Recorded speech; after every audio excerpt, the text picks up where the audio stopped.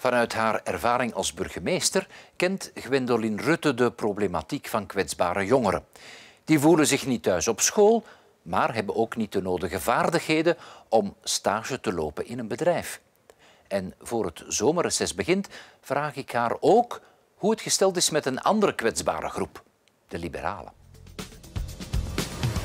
Gwendoline Rutte, welkom. Uh, ja, u nam het op voor, laten we zeggen, een, een hele bijzondere groep van leerlingen die, zoals u het zei, een beetje tussen wal en schip vallen. Want ja, um, niet helemaal geschikt om het uh, zo te zeggen, om te lang op de schoolbank uh, te blijven zitten, maar ook niet helemaal geschikt om dan een of andere stage te gaan lopen of wat dan ook. Nee, dat is heel moeilijk. En ik heb die tussenkomst echt gedaan als burgemeester en burgemeester van een scholenstad. In Aarschot zijn er ongeveer 9000 leerlingen die elke dag school lopen.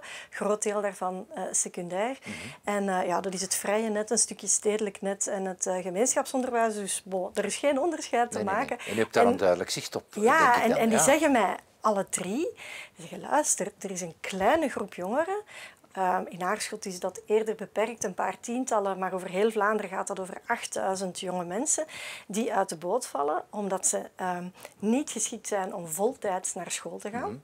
Dan spijbelen ze, dan hangen ze ja. rond, ze komen niet, ze leggen geen examens af.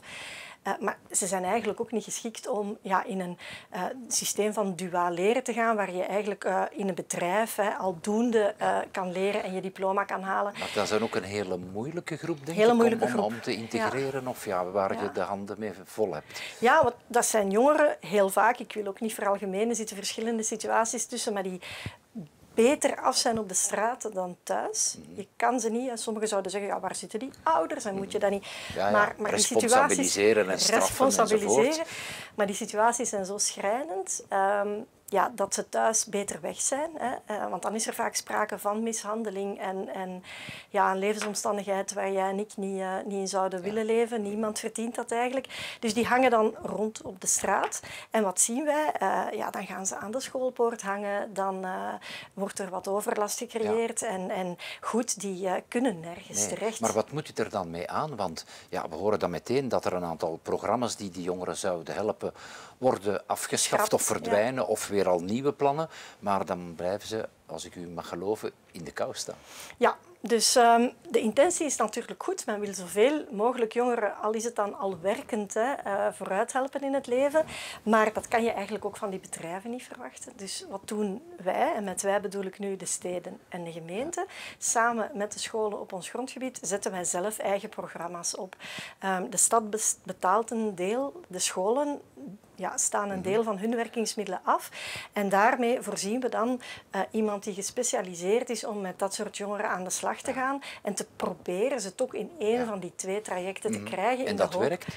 Wel, we moeten er nu mee starten. Hè? Uh, want uh, alle systemen die tot vandaag bestaan, zijn vanaf september eigenlijk afgeschaft. En uh, ja, we hebben, we hebben het initiatief gewoon zelf genomen. Ook niet alleen Aarschot. Mm -hmm. Ik weet in het Hageland ook Diest, ook Tiene, ja. andere kleinere, maar toch regionale steden die hetzelfde dus ik hoor u bijna zeggen, laat het maar over aan de steden en de gemeenten. Het moet niet allemaal van die grote Goh, Vlaamse overheid Dat weet ik komen. niet, want, want iedereen zoekt daar dan wel weer een beetje zijn of haar mm -hmm. eigen aanpak. En ik weet ook niet of dat dan goed is. Hè. Dan wordt het een beetje proberen en trekt uw plan maar ja. en haal die jongeren maar van de straat. Ik wil ook niet zeggen dat er met al die jongeren problemen zijn, maar heel vaak wel. En bijvoorbeeld als burgemeester um, moet ik af en toe eens een plaatsverbod uh, uitschrijven. Als zij naar vuiven gaan, als ja. zij rondgangen op Toch speelpleinen, ja, waar ze overlast zorgen, dan moet je echt wel streng zijn. En dat doe ik ook als burgemeester. Maar bijvoorbeeld voor een schoolomgeving mag je voor een minderjarige geen plaatsverbod uitschrijven uh, rondom een school. Ja. Hè. Ze hebben het recht om naar school te gaan, maar daar gaan ze dan niet naartoe, begrijpt u? Dus ja, ja, het is een heel delicate Ze gaan echt door de, door de mazen van dat net heen. En dan denk ik, ja, goed, we zullen ons wel weer redden. Hè. Steden en gemeenten trekken hun plan, dat zijn we gewoon. Okay, dat zijn we maar gewoon. eigenlijk, eigenlijk zou dit op een andere manier moeten geregeld worden. En dat was ook mijn pleidooi uh, ten aanzien van de minister. Um, over uh, moeilijke jongeren gesproken, um, mogen we dat ook op uw partij betrekken? Je hebt uh, niet direct, enfin, niet alleen jongeren, niet zo de beste, leukste week achter de rug. En nu hebben we nog iemand toch armen hier uit het Vlaams parlement, Tom Ongena, hardwerkend parlementslid, Ja, moeten bombarderen tot uh, voorzitter die dan de, de boel mag gaan opkuisen.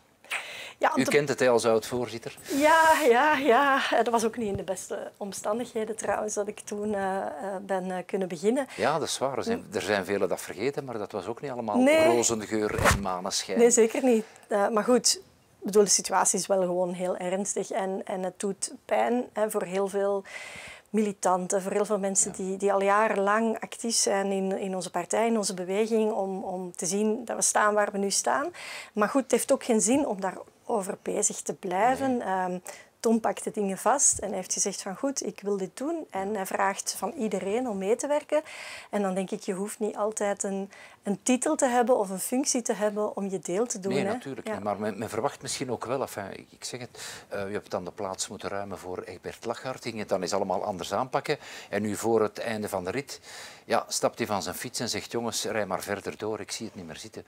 Dat was toch niet de bedoeling, hè? Dat blad is ook omgedraaid. Uh, en de dingen lopen denk ik niet altijd zoals je het zelf altijd zou willen. Eh, dat is inherent aan politiek. En ik, voor mij moet de focus terug liggen waar, uh, in de reden waarom wij aan politiek doen. En dat is om problemen op te lossen, om het leven van mensen beter te maken. En op dit moment in de geschiedenis moet dat misschien niet altijd met hele grote verhalen, maar kan je soms ook met kleine dingen die echt het verschil maken, wel. Uh, wel vooruit Maar zit de partij ook niet met die, ja, die traditie van botsende ego's? We hebben dat lang geleden gezien tussen Karel de Gucht en Guy Verhofstadt en uh, l'histoire se répète. We zien terug dat de premier, de Croo in dit geval, dan botst met anderen. En de liberalen geraken er blijkbaar niet uit. Dat soort mantra. Ik heb nu toch al wel wat ervaring uh, voor en achter de mm. schermen. En ik heb nog geen enkele partij gezien waar mm-hmm. er geen ego's in zitten.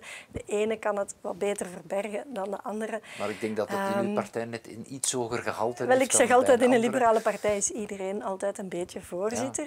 Ja. Uh, dat kan moeilijk zijn op het moment dat iedereen vindt dat hij of zij zijn gedacht moet zeggen. Maar dat kan ook heel veel helpen op het moment dat alle mensen zeggen we nemen verantwoordelijkheid en we gaan er samen voor. En, en Tom Ongena krijgt nu die ondankbare taak om, om de, de, laten we zeggen, de vrede terug wat te brengen en iedereen tot rust te brengen.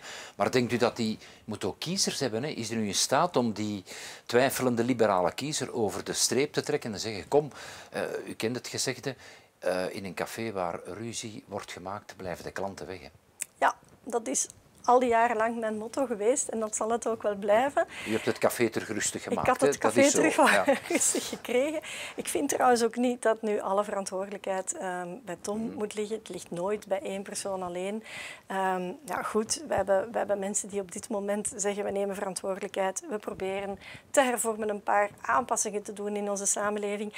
En dan denk ik, ja goed, um, wat positivisme kan nooit kwaad. Daar is het weer. Dat zit dan ook in ons DNA. Ja, toestand is ernstig, maar in uw ogen nog niet, niet hopeloos. hopeloos. Ehm, over hopeloze dingen gesproken om af te ronden. Vrijdag Vlaamse regering, we horen aan alle kanten die, die, dat stikstofakkoord. Ja, dat, blijkbaar wordt dat weer opgeblazen. Hè? Kan dat allemaal zomaar? Of denkt u, goh, het is wat stoerdoenerij van Jo Broens of zo? Ik kan natuurlijk niet, ik zit niet aan die tafel. Nee, maar u ehm, hoort wel veel. Ik hoor wel veel um, en het is, het is een heel belangrijk dossier. Dus ik hoop dat er rustig en kalm uh, naar elkaar geluisterd kan worden. Um, langs de andere kant denk ik dat er wel veel theater opnieuw bij komt mhm. kijken. Hè. En, en, als je natuurlijk wil dat iedereen meemarcheert in de richting van een akkoord, dan vind ik ook wel dat je je eigen afspraken moet nakomen. Er was afgesproken dat er een nieuwe merkprocedure zou komen. Dat ligt daar nu alweer een paar maanden. Daar hebben we nog niks van gezien. Dus voor je met het viertje gaat wijzen naar iemand anders en zegt van kom aan en ze mm. willen niet. Eigen doe je eigen huiswerk eerst. En als iedereen voor eigen deur veegt en als iedereen zijn of haar stukje uh, opneemt en echt mm. verantwoordelijk tot een goed einde brengt, dan komen we Maar als dat zo doorgaat, ja, dan gaat dat toch nooit... Uh, het, het volgende parlementaire jaar is een kort jaar, dat gaat er niet meer doorgeraken, vrees ik dan. Wel, nog los van het stikstofakkoord, wat we wel nodig hebben om nog vergunningen te kunnen afleveren uh, in ons land, hè, um, denk ik dat de problematiek wat ruimer moet gezien worden. Op de Europese tafel ligt momenteel de Natuurherstelwet. Dat is opnieuw een aanscherping van de regels in zaken natuur. Ah, Heeft dus ook opnieuw effect op de vergunningen. Het zou ook maar al te gek zijn dat we in dit huis een wet moeten stemmen die op de dag dat ze gestemd moet worden eigenlijk al al achterhaald is. En dus hopelijk geeft dat wat meer druk. Hopelijk geeft dat een beetje een breder perspectief. Niet te veel naar de eigen navel kijken en problemen proberen op te lossen. Maar nogmaals, uh, ja, begin dan ook met je eigen huiswerk te doen. Als je afspraken maakt en je wil dat die nagekomen worden, moet je ze ook zelf nakomen. Lijkt me elementair. Een boodschap die mevrouw De Mier waarschijnlijk eh, goed zal horen. Oké, onderwijs, uh, uw eigen partij, het stikstofakkoord. Hoop doet leven. Laten we zien wat er uit de bus komt. Bedankt voor het gesprek in alle geval. Graag gedaan.